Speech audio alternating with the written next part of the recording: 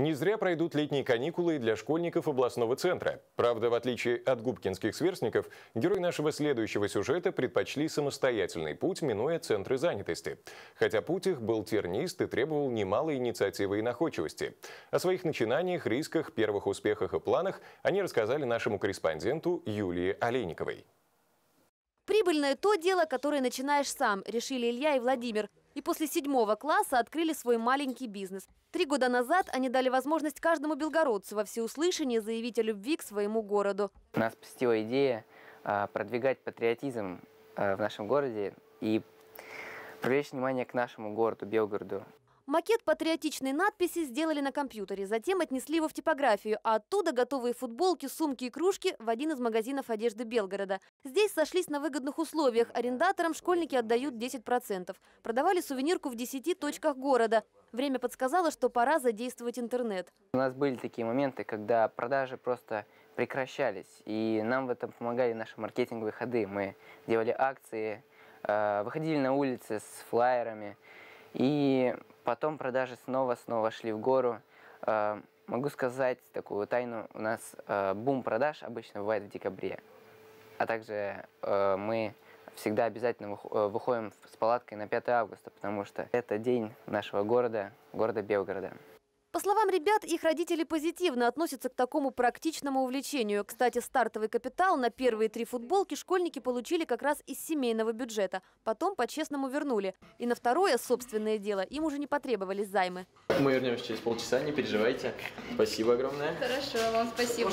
Спустя год после продаж футболок, сумок и кружек школьники решают заняться выгулом собак. Я не нашел ни одного выгульщика, э, вот, ни одной компании по выгулу собак. Э, в Белгороде. На тот момент, когда мы начали этим заниматься, мы посчитали, что это открытая ниша.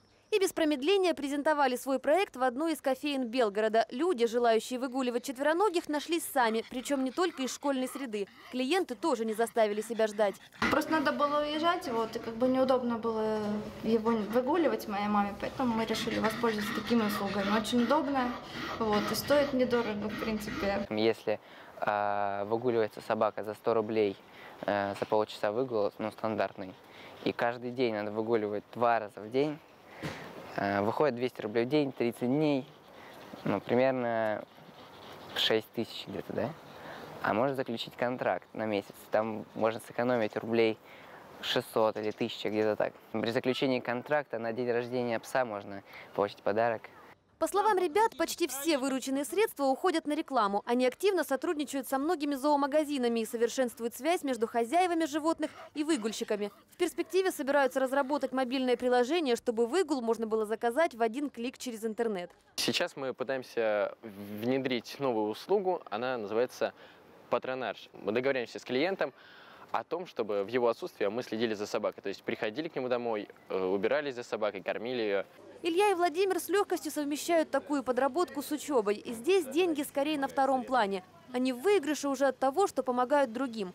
Однако признались, что уже накопили на отдых. Не в их привычках проводить время впустую, а потому поездка в Европу в середине лета обещает быть не столько туристической, сколько деловой. Это будет вечеринка для русскоязычного населения. Сейчас идет э, работа с э, клубами Праги, списываемся с ними на чешском, нам переводят наши друзья, которые там живут.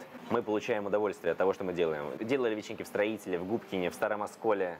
Вот. Э, хотим постоянно выходить на новый уровень, постоянно растем и хотим делать все больше и больше. Впереди последний год учебы в школе, но с выбором профессии Илья и Владимир уже определились. Свою жизнь ребята собираются посвятить тому, что у них лучше всего получается – организовывать праздники и заниматься менеджментом и продюсированием.